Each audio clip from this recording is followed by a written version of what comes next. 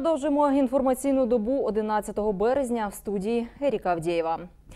Земля наш спільний дім на базі Херсонського національного технічного університету відбувся другий обласний етап всеукраїнського конкурсу. Хто переміг? Дивіться у сюжеті.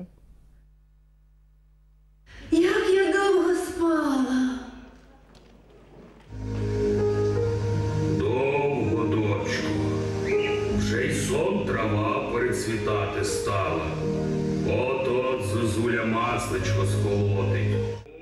Року вперше бере участь у конкурсі інклюзивний ляльковий театр при Херсонській обласній бібліотеці імені Олеся Гончара. Його учасники підготували виставу Лісова пісня на новий лад.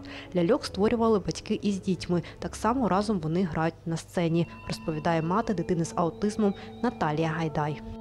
Усі ляльки робили наші діти власноруч. Вони навчилися е, нитку в голку встромляти, шити. Усі ці вони е, різати ножницями, е, пришивати. Все це робили наші діти. Усі ляльки зроблені з пластикових пляшок. Там всередині пластикові пляшки. Усі речі. Одяг, це нам е, херсонці е, передавали. Це вже як друге, друге життя непотрібних речей. Через ляльок діти можуть е, розвинути свої емоційні здібності, творчі здібності. Люди, пожалуйста, берегите природу. Не мусорьте, не кидайте мусор. Это плохое, пожалуйста. Убирайте за собой мусор, я вас прошу. За словами директорки центру екологічно-натуралістичної творчості учнівської молоді Ельвіри Вітренко, цьогоріч у конкурсі взяли участь 14 команд. Це як школярі з обласного центру, так і учні зі Скадовського, Чаплинського, Каланчацького та Голопристанського районів. Мета конкурсу – підвищення рівня еколо-просвітницької та природоохоронної діяльності учнівських колективів. Це повага і любов природи, це знання історії. У 1918 році започатковувався юнатівський рух в Україні. Е, В 45-му році юнатівський рух започатковано було в Херсонщині. Це команда «Дивоцвіт» з Каланчацького району.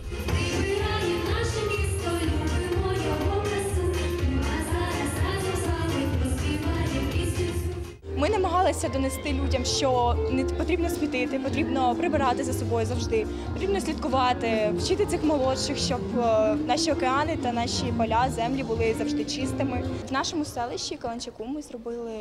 е, Знаю, що працює Сифон з північно-кримського каналу. Ми завжди прибираємо наші ділянки, завжди прибираємо наше селище, наші зони, які до нас відносяться, наші береги морів, щоб завжди було чисто та охайно все. У підсумку перемогу здобула команда Херсонської спеціалізованої школи номер 57 Зелена лілія. Саме вони представлятимуть Херсонщину на всеукраїнському конкурсі Земля наш спільний дім. Анатон Григорій Шматко. Новини на Суспільному. Херсон.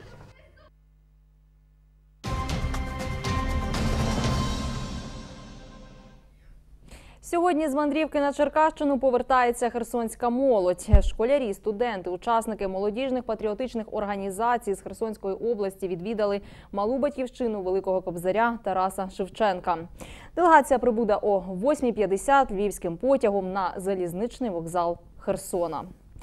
10 березня в Каневі вшанували пам'ять Тараса Шевченка. Цьогоріч виповнюється 159 років із дня смерті Кобзаря.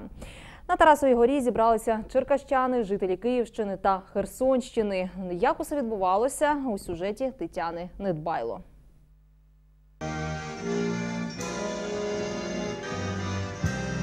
Вшанування розпочинаються із покладання квітів до Тарасової гори. Канівчанка Анастасія Буличова щороку приходить на Черначу гору у Шевченківські дні. Мені здається, що Тарас Шевченко це дуже важлива постать у нашому житті. Це вивчається з першого класу, там і всі його знають. Це та людина, яка як прививає любов нам до писемності. І він таке писав. Мені дуже подобаються ці твори. В них в них закладено таке ну просто там і мораль, і така духовна, і, і сум, і білі страждання. Тарас об'єднує нашу націю, вважає канівчанин Віктор Тихомир. Його творчість, його життя приносить нам велику користь.